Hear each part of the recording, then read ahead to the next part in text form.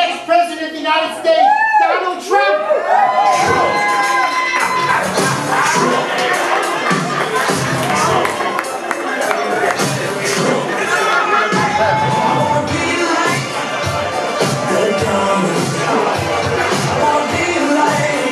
Everybody,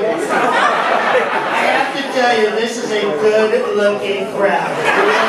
Fantastic, absolutely fantastic. I'm so happy that Beck put this Trump rally together for me. And we're here, and this is tremendous, we're here at my hotel, the Trump Soho. Is this place incredible? Give me a- So this is a fantastic, beautiful hotel. Remember, folks, if it's not a Trump hotel, it's a dump hotel. Don't stay anywhere else. I have to tell you something about this phenomenal hotel I have. It's really good. Uh, we came in under budget and ahead of schedule. We were so ahead of schedule, it was done before we got started. That's how amazing. And so that's what I'm going to do for America. It's going to be really, really amazing. And I've been getting tremendous crowds everywhere I go. And here in New York is no exception. And I love, love, love New York. It's my city. It's an amazing city. Fantastic city. By a round of applause, who here are my New Yorkers? Good, You'll appreciate this. Once I become president, by the way, I will become president because we're replacing the Electoral College with Trump University. So it's definitely gonna win, let me tell you. Believe me, believe me. Once I'm president, we are gonna build a wall around New York City. And we're gonna make New Jersey pay for it. Terrible, terrible people, New Jersey. Terrible people.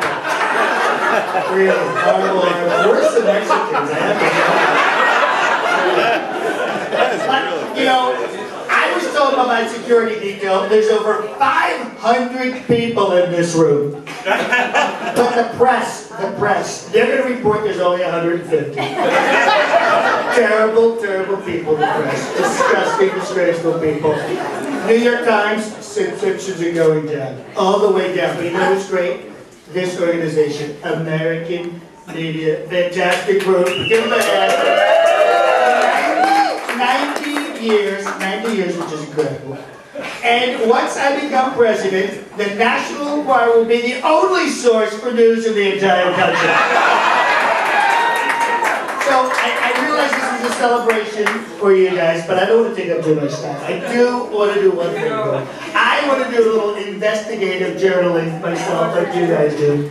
I want to find out by a round of applause.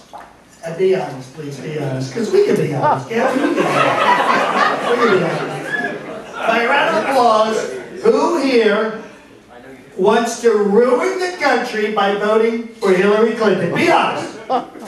See that? Absolutely no one, Hillary. No one. I'm with Hillary. No one's with Hillary. Bill's not with Hillary. He has been with her many, many times, if you know what I'm saying. I want to be respectful. He screws tell. He does, he does. All right, by a round of applause, who's going to vote for me to make America great again?